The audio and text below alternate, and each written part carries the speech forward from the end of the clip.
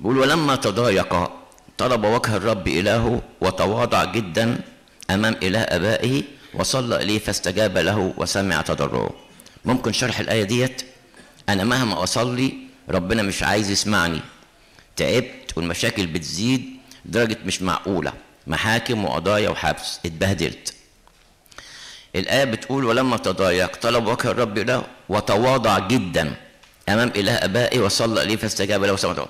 تواضع جدا وتضرع تضرع يعني ألح في التربة في الصلاة. هل أنت اللي بعد السؤال عملت كده؟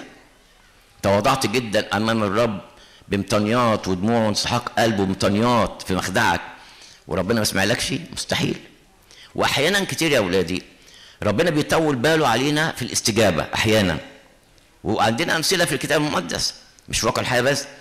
واثنين بقى ما فيش كلام عليهم. القديسين الكبار البارين زكريا وإيه؟ واليصابات يقول عنهم كتاب وكان بارين.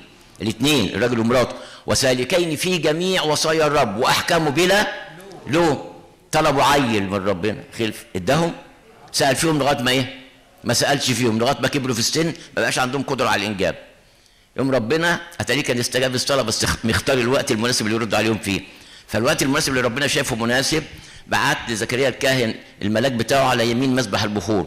وقال له يا زكريا صلواتك وطلباتك قبلت أمام الله. قال له أني صلوات؟ ما أنا بصلي على طول ده أنا كاهن شغلي. قال له امرأتك اليصابات حبلى بابني في الشيخوخه قال لا لا لا. قال له إزاي؟ ده أنا كبرت في السن وأنا كبرت في السن. قال له أنا ملاك الرب اسجد للرب بتشك في كلامها أنت تكون إيه؟ صامتا لا تتكلم لغاية ما تشوف. وفضل صامت لغاية ما امرأته اليصابات طبعا حملت وولدت.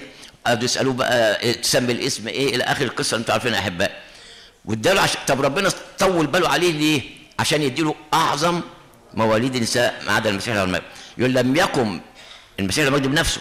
من بين المولودين النساء أعظم من يوحنا المعمدان لكن الأصغر اللي هو المسيح المجد أصغر بست شهور يعني في الولادة أعظم منه طبعا لأن هو الله الخالق. فاداها أعظم مواليد النساء على الإطلاق باستثناء السيد المسيح المجد بالجسد. الله بيطول باله عشان يدينا حاجات حلوة وشايفها في الوقت اللي شايفه مناسب لينا جدا يا أحباء. سيكم الدين. عندي سؤال. في إنجيل مرقس الساعة 15 آية 25 بيقول وكانت الساعة الثالثة فصلبوه. وإحنا بنصلي في قطع الساعة السادسة بنقول يا من في اليوم السادس والساعة السادسة سمرت على الصليب. المسيح اتصلب في الساعة الثالثة ولا السادسة؟ سؤال رائع جدا.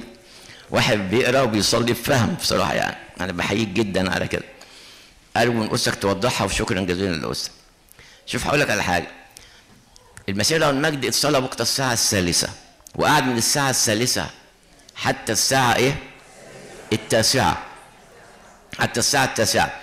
الساعة السادسة من أول الساعة الثالثة لغاية الساعة التاسعة كان مصلوب على الصليب ولا لأ؟ طب اشمعنى كيسه اختارت في صلاة الاسبوعيه يا صلبت وقت الساعة السادسة؟ لأن المسيح له المجد وقت الساعة السادسة كان اوريدي الصلب وتمموا فيه آه أمر الصلب. لكن الصلب الساعة الثالثة بدأوا يصلبوه في الساعة الثالثة الصلب ده خد ثانية ولا خد وقت؟ خد وقت فكيسة اختارت الوقت اللي already المسيح المجد مصلوب already فيه وهيقعد بعدها كمان ثلاث ساعات على الصليب لغاية ما يسلم الروح أصلا الروح في الساعة كام؟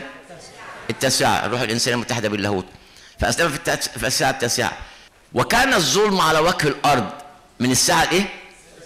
السادسة حتى الساعة التاسعة يبقى اخترت كذا وقت الساعة السادسة اللي صارت فيها ظلمة بسبب صلب المسيح من أجل خطايانا ومن أجل تبريرنا صح؟